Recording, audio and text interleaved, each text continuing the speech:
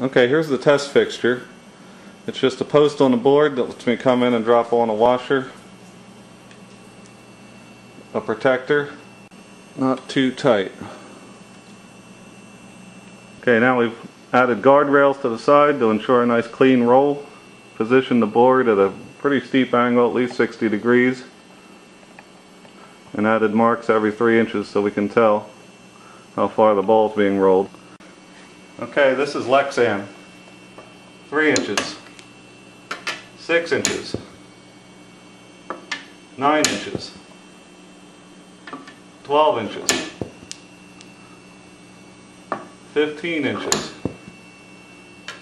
18 inches. 21 inches.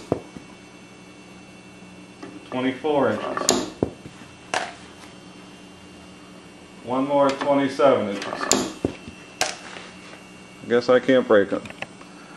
Okay, now we'll do the same test with an acrylic plastic protector. 3 inches. 6 inches. 9 inches. 12 inches. Oh, it broke. Okay, I got another acrylic on there. And we'll do a close-up this time. This is from 9 inches. No break. And this is from 12 inches. No break that time. Try it again from 12 inches. Oh. Okay, now for the heck of it, I've stacked up two acrylic protectors. We'll see how that affects it.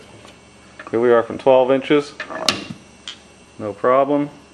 15. No problem. 18. No problem. 21. Getting a little closer.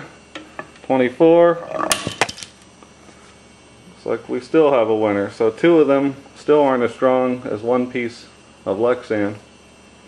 Hey, this is a piece of an old plastic from an attack from Mars that I've cut and drilled to fit onto the rig. Okay, here we go with the original Williams plastic.